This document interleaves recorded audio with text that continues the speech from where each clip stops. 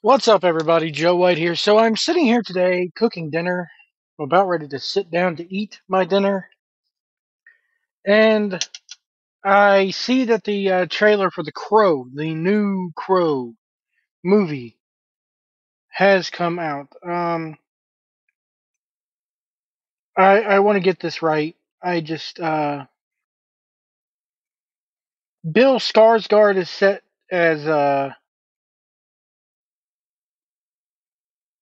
is set to return. Now, Bill Skarsgård played Pennywise in It. the new It, which again was really good. Bill Skarsgård is a hell of an actor. Um, it also stars FKA Twigs, uh, Tahliah Debrett Barnett. Why can't you just call yourself Tahliah Barnett? Why we Why do we got to call you FKA Twigs? Use your real name. Apparently, she's some rapper. Okay. Um, and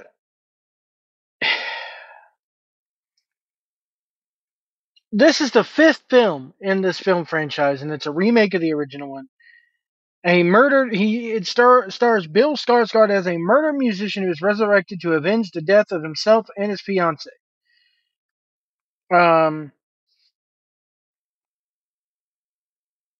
Skarsgård was they they this is fast food, man. I know the original movie was shot in a very very short time, and it ended in tragedy. But I'm I'm gonna put aside the Brandon Lee thing because it's easy for me to sit here and go that this is disrespectful to Brandon Lee, and Brandon Lee will be rolling over in his grave and blah blah blah blah. blah. I, which I, I, you know what?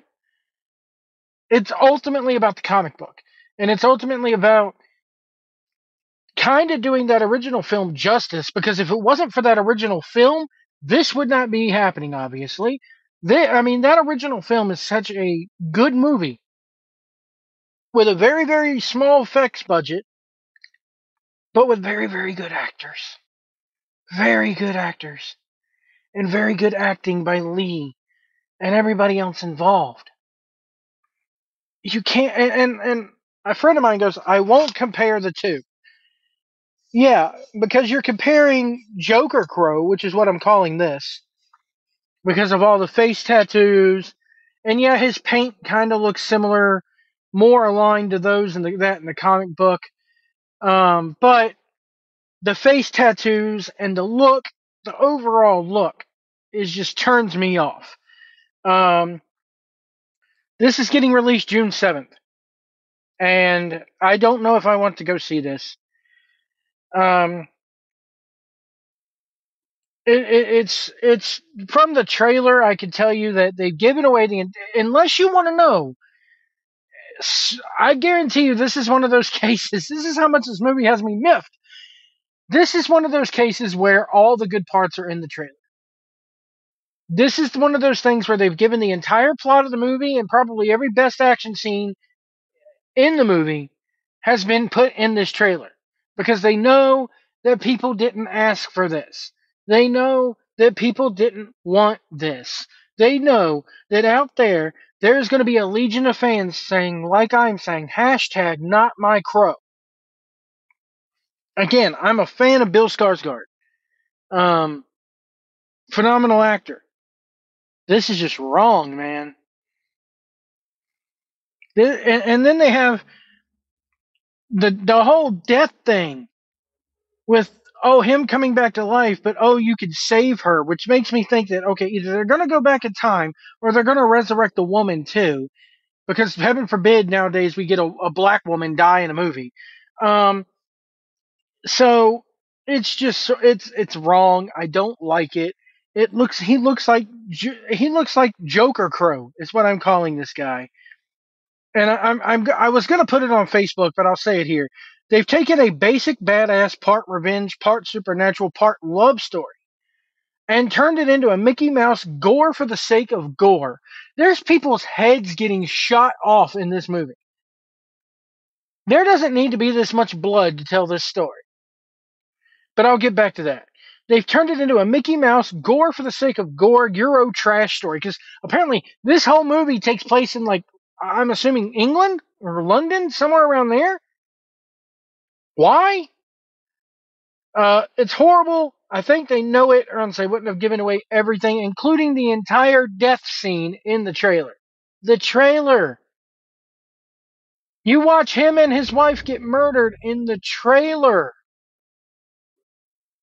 This is all wrong. You know, and, and gore for the sake of gore. Um, they they've turned this into John Wick Crow. John Wick, I, I like John Wick. I did like that movie, but it has ruined the action genre because everything that's come out since then has tried to be like John Wick. It's just like after Lethal Weapon was released in the late '80s, you had everything, everybody trying. You had what Tango and Cash came along, which I actually like. Tango and Cash, it's a guilty pleasure of mine, but they they tried to do every buddy cop ripoff after that. So they've turned this into John Wick Crow. Crow meets John Wick is what this is. And it's horrible. It's absolutely horrible. Even the special effects, there's one scene where he takes a, gun and just blows a guy's face off, and it just blood splatters everywhere. It looks like a B grade horror movie. This is not my crow. Not my crow at all. I, I am seriously on the fence if I'm going to go see this or not. I really am. I don't know. I really don't know. Let me what you guys know what you guys think about this in the comments below. Go watch the trailer first, then let me know what you think. So far, I don't want to see this. Nobody asked for it. Nobody wanted it. And to me, it's something that should not be remade. There's certain things like Scarface should never be remade.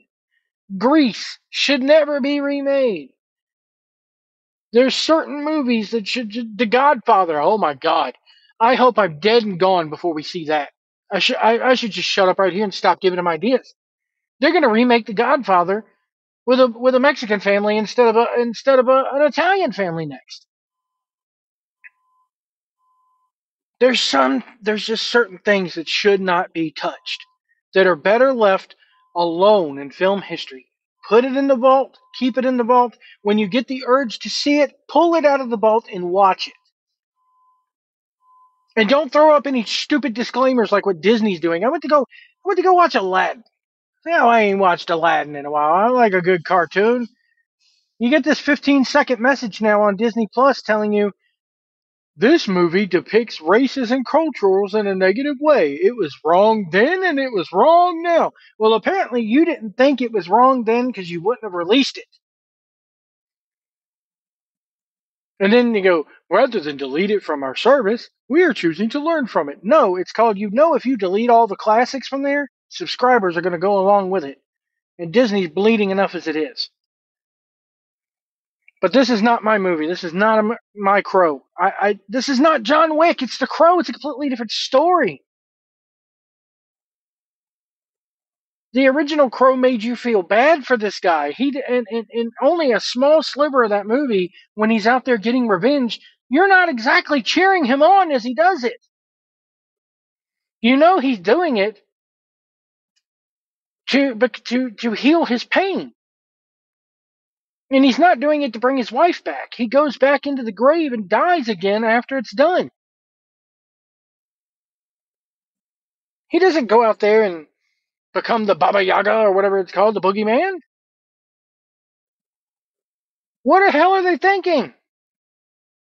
Again, let me know what you think in the comments below. I'm going to leave it there. This is this is crap.